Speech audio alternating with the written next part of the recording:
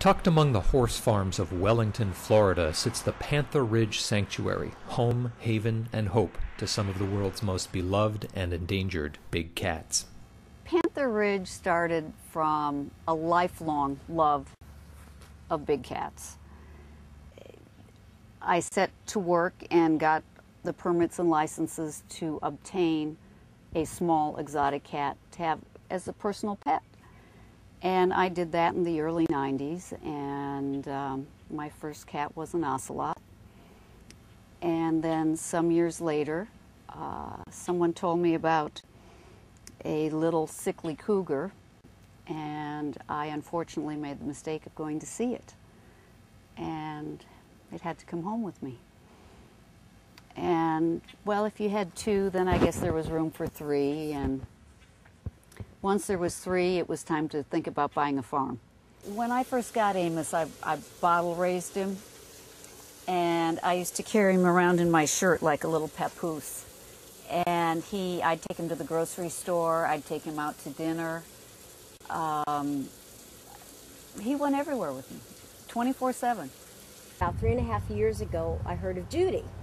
So I called her up and I said, um, I'd like to volunteer for you. And she said, Nope, I don't accept volunteers. I don't like my cats exposed to people and then they don't come back. So I said, No, really, really, I want to volunteer for you. And she said, No, I really don't accept volunteers. So I said, Okay, can I come out? So I made an appointment mm-hmm. and I came out on a Sunday and had a tour and we hit it off and I've been here for three and a half years. I love Amos's mambo dance when he's really hungry. Amos does this mambo dance when he's hungry to let you know that he's ready. And it's absolutely adorable. He jumps real high and he does this wiggle, and that says, okay, I'm ready to eat now. You know what? Why don't I hide a couple of these up in the tree? I'm hiding food for Amos. Make him work for his work for a few groceries. Makes him smell out. And there are days he'll do it, and there are days he prefers it in his silver bowl. Right. But we'll see what we can get him to come up and do here. Go get it. Go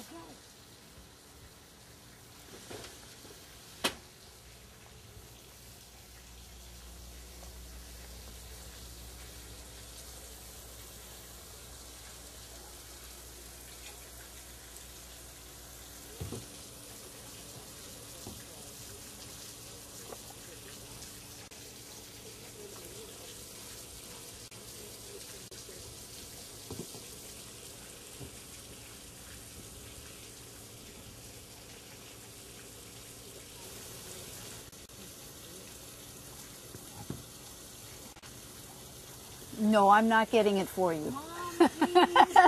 no, you have. It's not that hard, Amos. They're considered the smartest cats. First of all, there are not many cheetah in Florida that you can actually see. There are some at Disney, but you can go out on a ride at Disney and a tour of Animal Kingdom and on any given day not see one. Nowhere in this say three or four county area are there any? And i just thought it would be a wonderful opportunity. And i guess my interest was really piqued several years ago when i went to the cincinnati zoo and i actually saw cheetahs run. And they it was just a, a life-changing experience. When you see these things flash by at 60 miles an hour it is truly amazing and then a couple years later, I actually went to Africa and went out to see, visit some of these projects out in the wild that are helping to save the cats. And it really kind of put the cement on it. Uh, it, it, just was something that I wanted to be a part of. So we're going to pre prepare a little bit of a snack for these cheetahs so they can come in. Uh, otherwise, they prefer to stay out in their big field all day. So we lure them in with a little bit of something yummy that they like to eat. In this case, it's going to be just a little bit of horse meat. so here's our salmon oil. And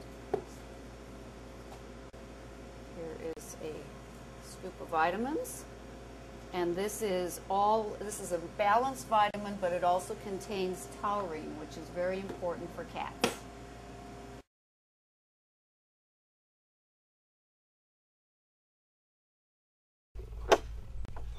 Just wait a minute.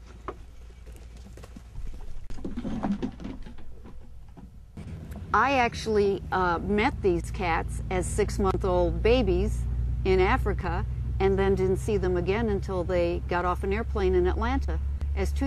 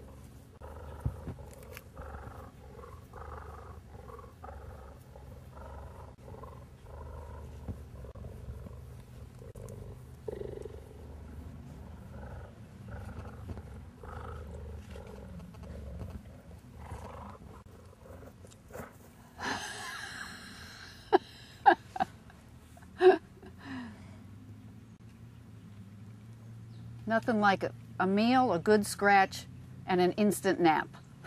I've got four clouded leopards that came to me from the Audubon Zoo after Hurricane Katrina. And about a month after the hurricane, a friend of mine who was running the Nashville Zoo called and asked if I could take four cloudeds that were old cats, had been used in the breeding program, but were no longer necessary because their genes were overrepresented. These animals are endowed with a peculiar set of tools that enable them to hunt. Huge paws, they're able to get good purchase on limbs when they fly through the trees. Uh, they can rotate their hind limbs so they can climb straight down a tree, almost leaving their front feet free. Huge teeth, so if they catch hold of something, it is unlikely that it gets loose. And the long tail for balance, which gives them their acrobatic abilities. So uh, they are quite formidable as a predator.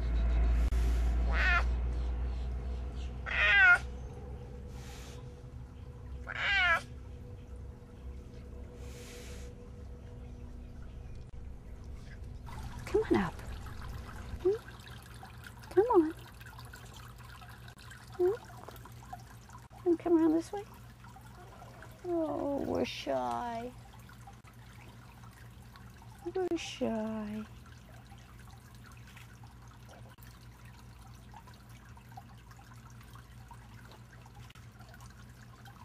These are such incredible animals. Took me probably three weeks of just sitting in here when they first came, totally ignoring her. And then one day she walked up and sat on my foot. And that was her overture to me that we could be friends. One of the hallmarks of this place is that we really try to spare no expense for the health of these animals. We really want them to live the fullest and best life they can. We use really top quality products to feed the animals, and we go through about 100 pounds of beef, chicken, horse meat, lamb, organ meats uh, a day. Yes.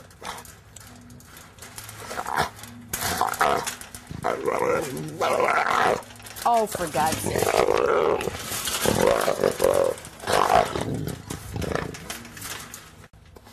There. All right.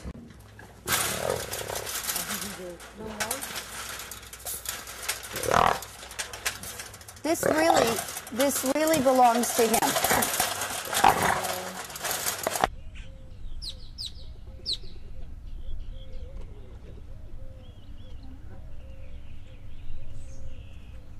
Oh, mejor que nada. Sí, ah, sí. Okay, we're in luck.